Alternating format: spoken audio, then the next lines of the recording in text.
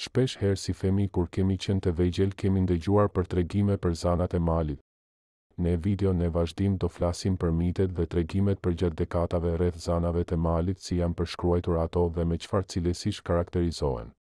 Zana e malit është krijesë mitologjike shqiptare me veti tepër origjinale autoktone dhe e krahasueshme me figura të këtilla ballkanike dhe malore të gadishullit ballkanik. Sipas traditës, ato kanë dy karaktere, i zbutur, i cili ndihmon kreshnikët në betejat e tyre, dhe karakteri idhnak i cili nguros kur iu prishet qetësia.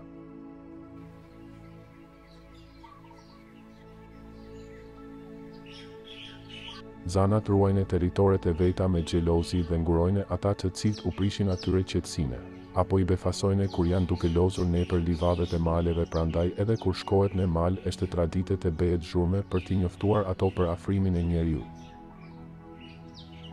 ato zakonisht shihen duke pirë ujë në burime të maleve ose duke u larë në përrenj të kthjellët malorë. Zanat kanë flokët e gjata të lëshuara deri në bel ose deri në gju, të veshura me rrobe të bardha të holla dhe bëjnë dritë përreth tyre. Edhe zanat kanë orën e vet njësoj sikurse njeriu, madje zanat mund të jenë edhe të vdekshme, në dyluftime kreshniku mund edhe ta presë atë me shpatë. Brirët e dhive të egra janë mbrojtja dhe dobësia e zanave. Thuhet se zanat këndojnë natën nëpër burimet, kërcejnë dhe luajnë, mbledhin lule dhe lahen lakuriq. Por zana edhe ndëshkon, duke shituar çdo njeri që guxon të kalojë e të hedhë vështrimin kur ajo lahet.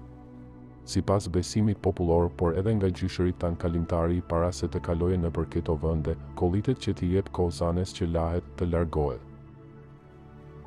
Ndonjëherë zanat rrinë rreth ndonjë gurre me ujë të pijshëm ku nuk lënë askënd të shkojë të pijë ujë madje as zogjtë e malit.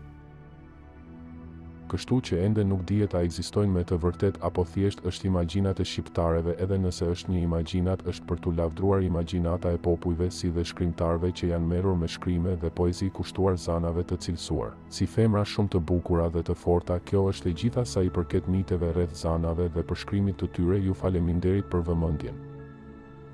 Për më shumë video ju lutem bëni subscribe në kanalin tim në youtube për më shumë video interesante ju faleminderit.